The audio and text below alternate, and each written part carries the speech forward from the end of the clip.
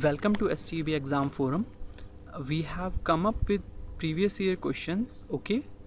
So in this video we are going to see English language okay? So first the disclaimer. All these questions are memory based and uh, collected from various sources and our student feedback. Right student? Second uh, this exam was held on 15 to 19 December 2018 that is CEPTAM 9 okay? Point number 3 as you know English is uh, very difficult to recollect after the exam. So the student only remember the topic what they have been asked okay? So uh, these are the some disclaimer point you should note down. So coming to the question first uh, read the passage carefully and choose the best answer to each of the questions out of four alternative okay? So basically this is comprehension. So in that exam two passages of four to five questions uh, were asked okay?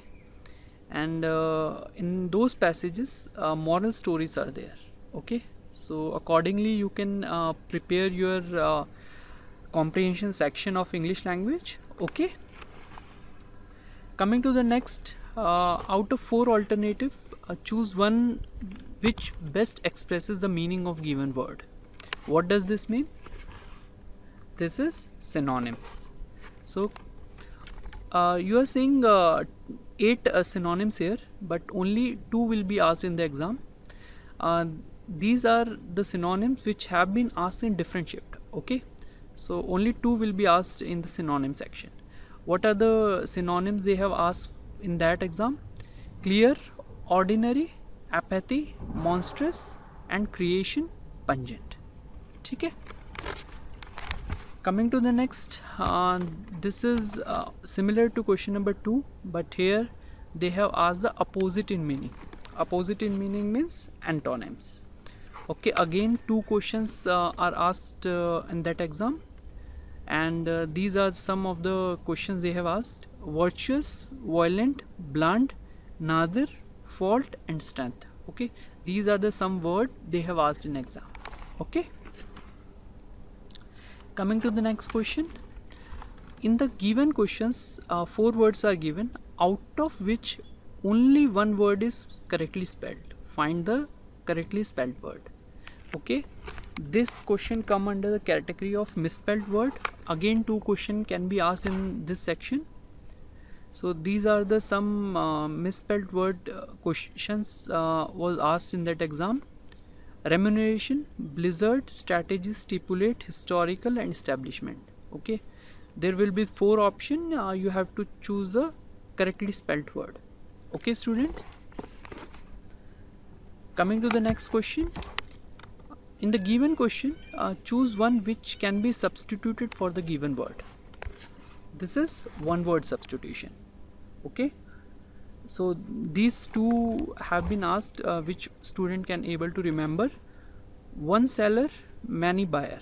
Uh, this will be the given uh, phrase and uh, the one word substitution will be monopoly.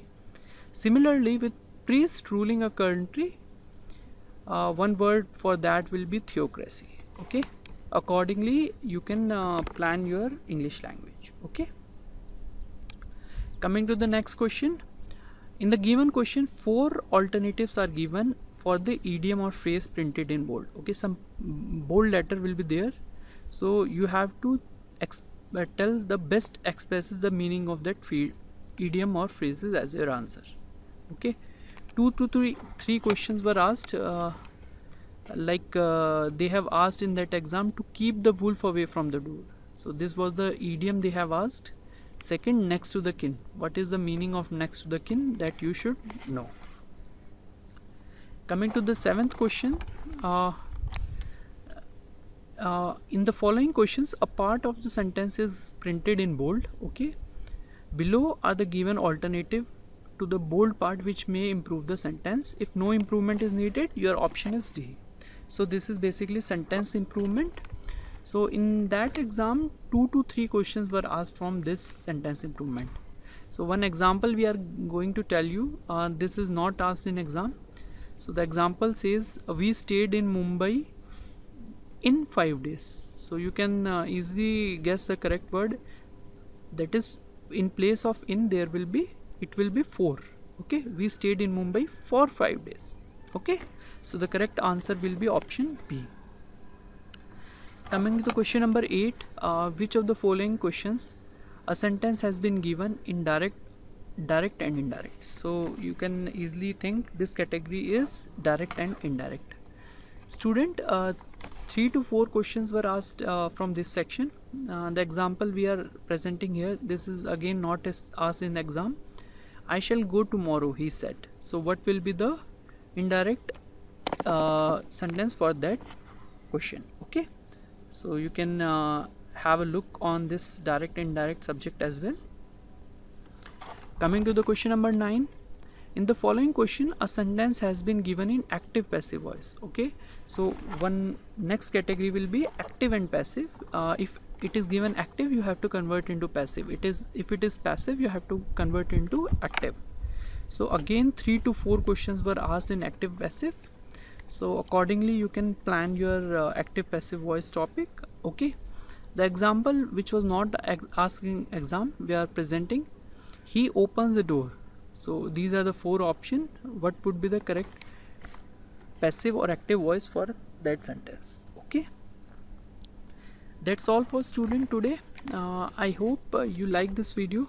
Uh, if you like this video give a thumbs up to us and share it with your friend more and more. Thank you. Have a nice day